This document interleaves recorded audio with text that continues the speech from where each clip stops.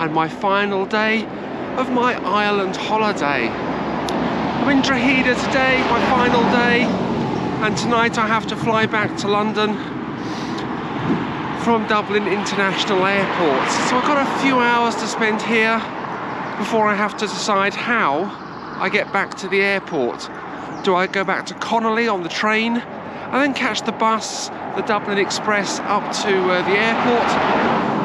Or do I catch the coach from here direct to the airport? I have a few choices depending on how I get on today and how much time I have. I shall end the video at the Buttergate, which is an old ruined gate down by the um, Tower where I was yesterday. So I'm looking forward to seeing that. And along the way, we'll see what else we can discover about the history of Drogheda. And uh, I had a little walk through the town this morning.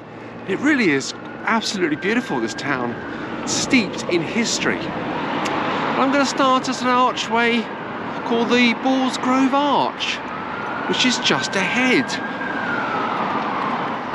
This is rather an impressive archway.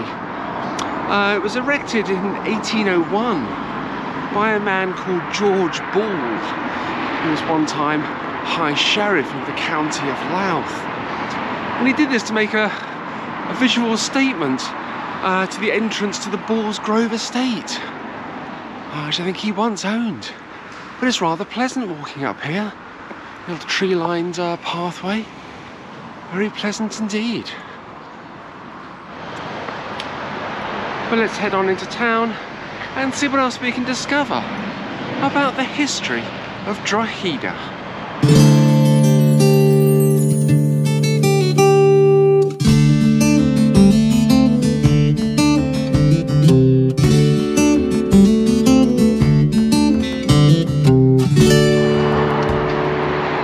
Interesting to look at that arch.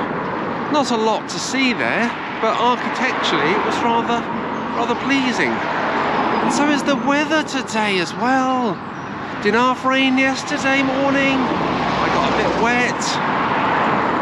Don't like the rain, but the weather's fine for today. So I'm hoping it, it will actually, um, the forecast is correct for today. And the rain holds off. But this is the road bridge that goes over the River Boyne. And there's a nice uh, ruined mill on the left hand side. I do like looking at ruined industrial buildings. There's also another ruin on the other side of the bridge, which I think is the old priory. So let's go and take a look at that and discover some more of the history of Drogheda.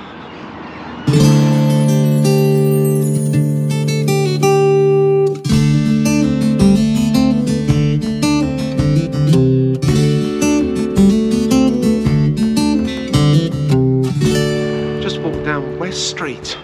There's so many empty shops down there. There's another one on the right hand side here as well. This is beginning to become a, a trait in high streets. And we've got a lot of uh, empty shops in England. People just, businesses just can't afford the rents anymore, especially with the uh, the cost of living. I dare say it must be the same here in Ireland. Great shame that uh, what once viable businesses are no longer there and no one can afford to take over the, the empty shops. But this is the uh, the old priory. This dates from uh, 1206. Uh, there's a plaque on the wall here. Let's have a look at that and see what that says. Uh, St Mary's Priory is said to have had its origins about the time of St Patrick, who baptised the townspeople at a well nearby back in the year 433. In the 12th century, a synod was held here at which archbishops were appointed for Armagh, Dublin, Tuam, and Cashel. Later, Augustinian friaries established a hospital for the support of the sick and the infirm. It's rather interesting. Another little ruin here. Nice little archway. And uh, up the back must have been another part of the uh, of the priory. Let's take a little walk up here. Just uh, little bits of wall that remains, and the remains perhaps of an old chapel as well. Oh, a rather impressive mural on the wall as well, of the gallery. But yeah, not a lot here, but it's still very interesting to see it. Um, but it's nice that it has survived and it has been preserved. And this is no longer a really a commercial thoroughfare, but yeah, very nice, very nice to see it. But let's head on into the town, walk down West Street a little further, and see what else we can discover on the way up to the Buttergate.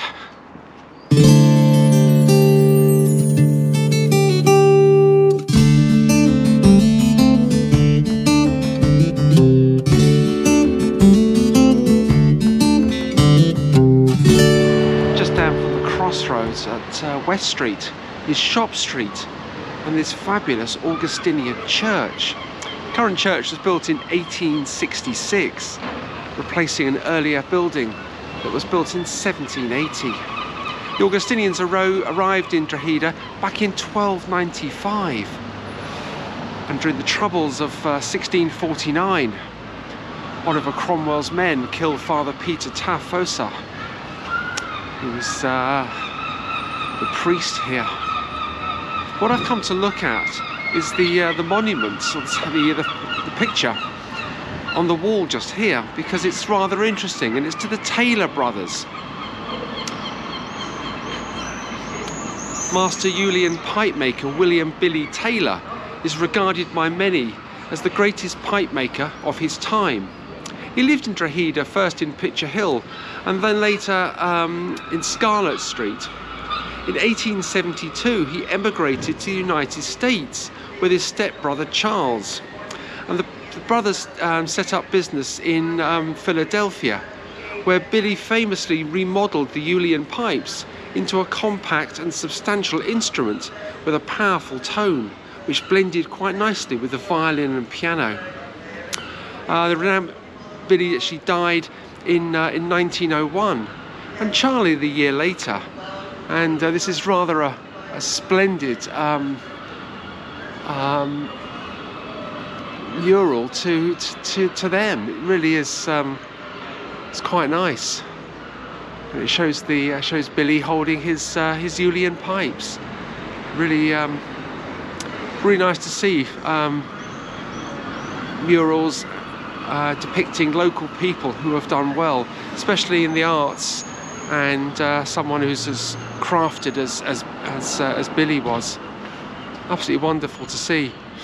But just round the corner, it's rather an interesting set of steps. Just on the left here are the High Lane steps. There's 23 of them, and they go they and they go up to uh, to Lawrence Street. Lawrence Street joins up with the crossroads at West Street, where I've just come from and the uh, Lawrence Gate at the other end. And it's quite nice actually here. The building on the right is uh, what remains of the old 15th century uh, Franciscan priory that used to be here. But now it's the, uh, the Highlanes Art Gallery and that was uh, remodelled uh, back in 1829 just at the top of the steps is the is the gallery. There we go. And what a beautiful looking building it is. And a lovely seating area out here as well. Even though the building was remodelled back in 1829 and reopened as a church, it's been a thriving congregation here up until about the year 2000 when the uh, building closed for uh, regular worship. The building was uh, donated to the, uh, the people of Drogheda. And in 2006, it opened as an art gallery. So let's go inside and take a look.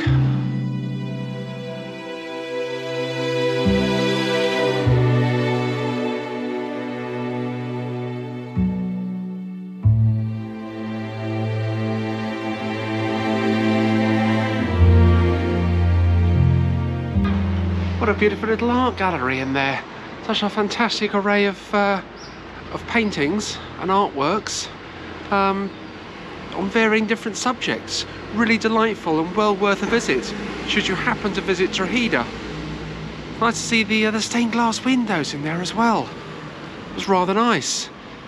So was their cafe. Lovely slice of cake and a cup of tea. Six euros fifty. Just what I needed at that time. Absolutely lovely.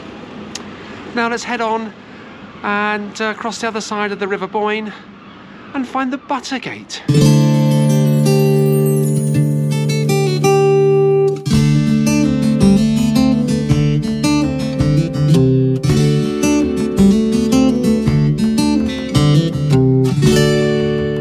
And this is the Buttergate, or what remains of it.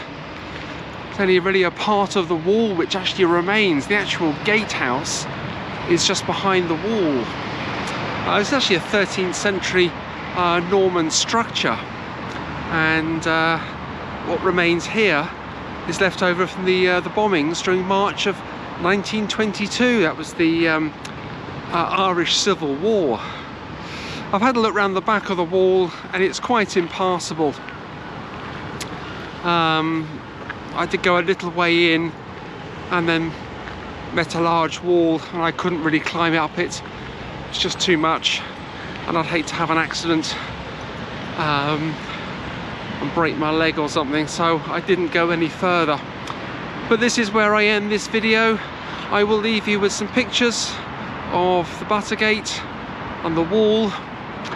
Uh, thank you so much for watching. Don't forget to hit that subscribe button and follow my journey because there'll be another adventure very